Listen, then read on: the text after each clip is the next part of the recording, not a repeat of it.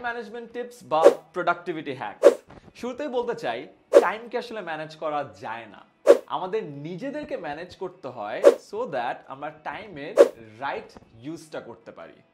Number one প্রতিদিন ঘুমাতে যাওয়ার আগে পরের দিনের কাজগুলোকে এক, দুই, তিন, চার, পাঁচ, ছয়, সাত করে লিখে রাখো। যেন পরের দিন ঘুম থেকে ওঠার পরেই আমরা দেখতে পারি যে আজকে আমার কি কি করতে হবে। এবং সব থেকে মজার ব্যাপার হলো, যখনই যে কাজটা করবা, কেটে ফেলবা। কেটে ফেলার মধ্যে যে কি এক পৈশাচিক আনন্দ আছে, তুমি সেটা কল্পনাও করতে পারবে না। এটাকে ডোপামিন হ্রাস দেয়। একটা কেটে ফেলার পরে পরবর্তী কাজ করার তোমার উৎসাহ বা আগ্রহ অনেক বেড়ে যায়।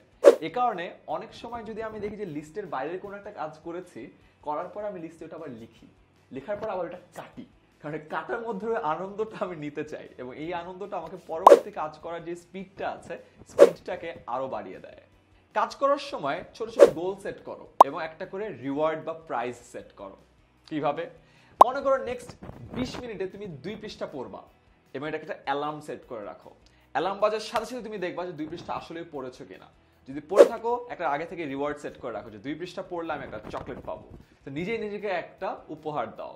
এটার ফলে যেটা হচ্ছে অ্যালার্ম ক্লক থাকার কারণে তোমার টাইমটাকে একদম রেস্ট্রিকটিভ একটা ওয়েতে বেঁধে ফেললা দুই তুমি আসলেও ওই প্রাইসটা পাওয়ার জন্য একটু হলেও তোমার কাজটা শেষ করার উৎসাহ বেড়ে যাবে।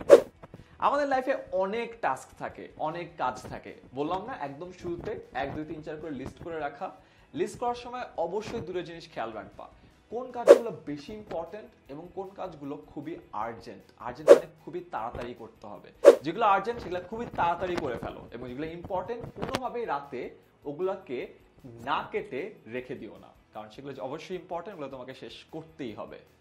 লার্ন টু ডেলিগেট মানে তুমি যদি তোমার কোনো একটা কাজ অন্য কাউকে শিখিয়ে দিতে পারো, তোমার কাছ থেকে কিন্তু ওই কাজের বোঝাটা কমে গেল।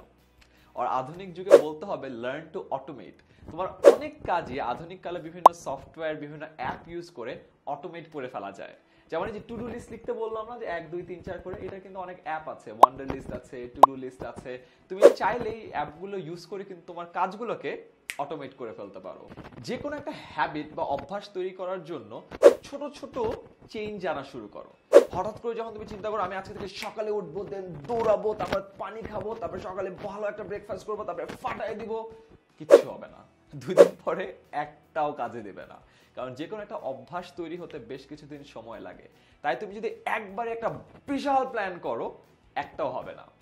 বরং সেক্ষেত্রে ছোট ছোট টার্গেট সেট করো যে, আজ কালকে থেকে সকালে উঠে আমি পানি খাওয়ার একটা অভ্যাস করব।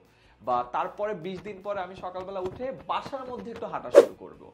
এরকম করতে করতে করতে করতে আস্তে আস্তে অভ্যাসের পরিধিটা বাড়িয়ে দাও। তারপরে দেখবা যে, বছর খানেক পরে তোমার সব অভ্যাসগুলো একটা নতুন ভালো অভ্যাসে পরিণত হয়েছে। মাল্টিটাস্কিং আমরা ভাবি যে, আমরা মাল্টিটাস্কিং এ খুবই পটু। এখানে এক কাজ করছি, এখানে এক কাজ করছি, গান শুনছি বাট আসলে তা না।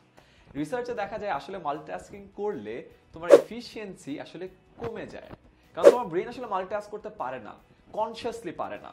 এখন তুমি বলতে পারো, ভাই, আমি তো গান শুনতে শুনতে কাজ করতে পারি। হ্যাঁ গান শুনতে শুনতে যখন তুমি কাজ করছ, তখন গান শোনাটা তোমার সাবকনসিয়াস মাইন্ডে হচ্ছে। কনসিয়াস মাইন্ডে তুমি খালি লিখছো বা কোনো কিছু একটা পড়ছো।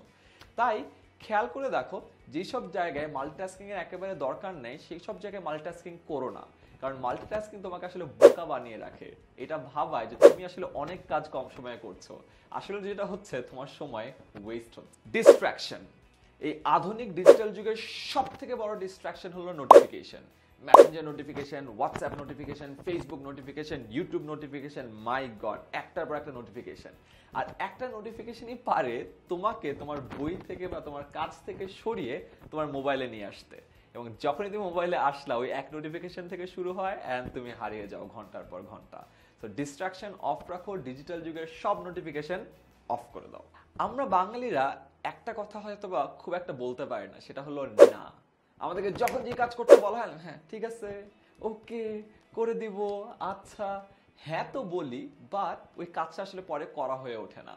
তাই খেয়াল করে রেখো, যখনই তোমাকে কোনো কাজ দেওয়া হবে বা নিজেই নিজেকে একটা কাজ দিবা, চিন্তা করে দেখো, আসলে এই কাজটা দরকার আছে কিনা ইম্পর্টেন্ট কিনা বা আর্জেন্ট কিনা, বা তোমাকে দিয়ে আসলে হবে কিনা। যদি না হয়, তাহলে শুরুতে আসলে কাজটা নেওয়ার দরকার নেই। কারণ ওই একটা কাজের কারণে ওই কাজ করার সময় তো একটা বোঝা আছেই কিন্তু ওই কাজ করার আগে ওই কাজের কথা চিন্তা করে তোমার মাথায় যে বোঝা কাজ করে, সেটার কারণে তোমার অন্য কাজগুলো হারিয়ে যায়। সর্বশেষ যে জিনিসটা খুব ইম্পর্টেন্ট সেটা হলো তুমি যেই টেবিলে পড়ছো বা যেই টেবিলে কাজ করছ বা যেই ডেস্কটপ বা ল্যাপটপ বা মোবাইলে কাজ করছ, সেটা যতটা সম্ভব গোছানো যেন থাকে, তোমার টেবিল যেন গোছানো থাকে, তোমার যে ওয়ার্ক স্পেস সেটা যেন গোছানো থাকে। তুমি যে ডেস্কটপে কাজ করো তাহলে তোমার ডেস্কটপ যেন একদম ক্লিন থাকে, একদম ফোল্ডার ফোল্ডার ফোল্ডার যেন ভরা না থাকে। মোবাইলে যদি কাজ করো মোবাইলের জন্য লিমিটেড নাম্বার অফ অ্যাপস থাকে, তার কারণ হলো যত গোছানো থাকবে, তত কম ডিস্ট্রাকশন থাকবে, যত কম ডিস্ট্রাকশন থাকবে, তোমার প্রোডাক্টিভিটি তত বেড়ে যাবে। আশা করা যায় এই টাইম ম্যানেজমেন্টের যে টিপসগুলো দিলাম বা এই প্রোডাক্টিভিটির যে হ্যাকসগুলো দিলাম, এই জিনিসগুলো যদি তোমার লাইফে কাজে লাগাতে পারো, বেশ ভালো রেজাল্টস পাবা। আই বিলিভ তোমাদের ফ্রেন্ডদেরও এই জিনিসগুলো অনেক কাজে লাগবে, তাই এই আইডিয়াগুলো যদি ভালো লেগে থাকে, তাই সবার সাথে শেয়ার করে দাও।